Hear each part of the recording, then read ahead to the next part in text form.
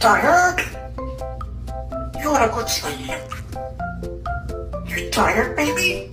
Several researchers have proven the African gray to be the most superior avian species in terms of intelligence and talking ability. Einstein, Alex and Griffin are the renowned parrots who, after demonstrating a set of cognitive and communicative abilities, have convinced the world that parrots have emotional and mental states. Although these famous birds could speak around 200 words, some researchers argue that African gray can speak 500 and even up to 1,000 words with extensive training.